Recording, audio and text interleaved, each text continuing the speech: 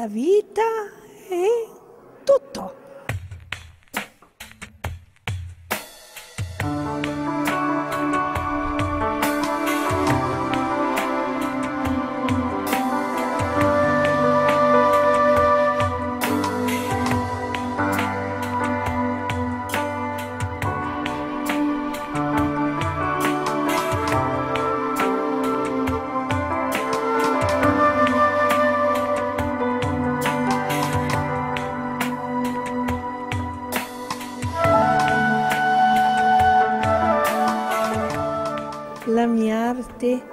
mi ha donato la vita, la mia stessa vita, perché io forse senza questo mio mondo che mi è appartenuto sempre e posso dire forse cromosomicamente e anche da generazioni, per me è tutto, perché è inserito universalmente la possibilità di vivere in questo pianeta mi ha resa quasi particolarmente portata ad ammirare prima la foglia, l'arte greca e poi sono andata indietro all'arte greca, poi sono andata avanti.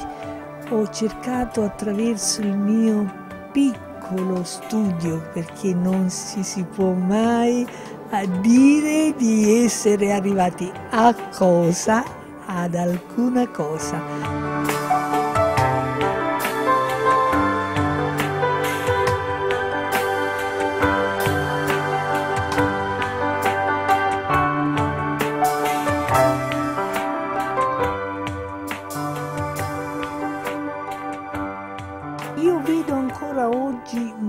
Molta arretratezza su questa città, vedo questo senso di particolare riflesso, qua sono un po' dura nel dire queste cose, anche se sono gallipolina ma più leccese, perché da piccolissima dico sono venuta a Lecce, sono Guido e Stefanelli di Gallipoli, il salotto culturale dell'Ottocento gallipolino, le due case edito, editrici di Gallipoli e Lecce, perché il nonno portava naturalmente i figlioli a Gallipoli e lì si sposarono con me. Io mi trovo gallipolina, nata quasi su una barca a vela, dico per dire, perché Gallipoli è una padella nell'acqua, no?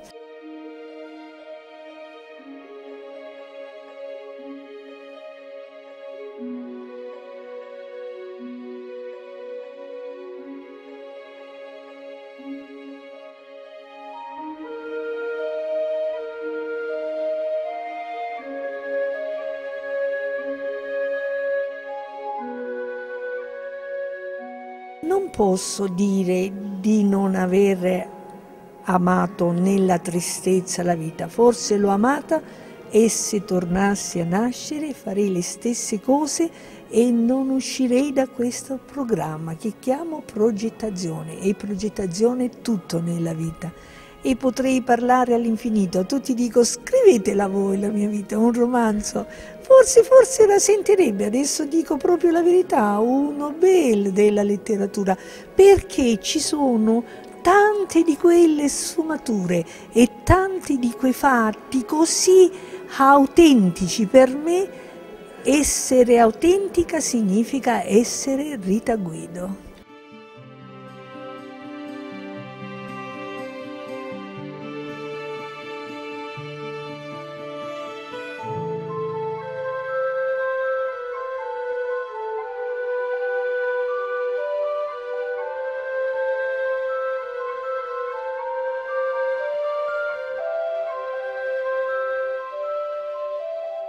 Io sono una femminista, ma non mi toccate gli uomini, perché non sono della, del parere che ci debba essere questa aridità, questo senso terribile. È vero che oramai c'è un'aria anche un po' infettata, diciamo che ci stiamo aprendo, ci siamo già aperti a, a nuovi a nuove posizioni, forse è un nuovo mondo. Io sono aperta a tutto, sono aperta a tutto, non condanno alcuna posizione eh, mentale, geografica e di conseguenza anche il rispetto dell'amore fra l'uomo e donna, fra uomo e uomo, padrone e donna.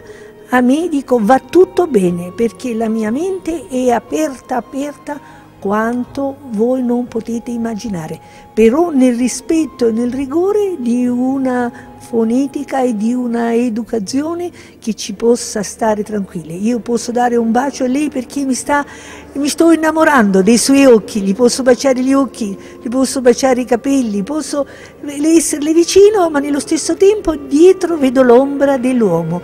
E allora dico, è bello questa coppia, è bella, ma qualsiasi coppia può essere bella.